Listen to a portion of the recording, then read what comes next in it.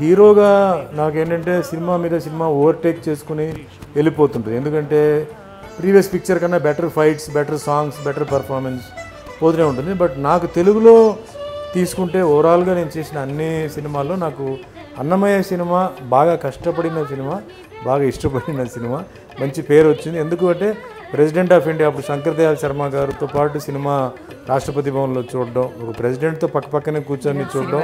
తమాషా ఏం కాదు. దేవుడు నాకు అంత పెద్ద ఒక గిఫ్ట్ నాకు ఇచ్చారు. ఒకటే కాదండి నాకు మంచి మంచి పేరు వచ్చింది.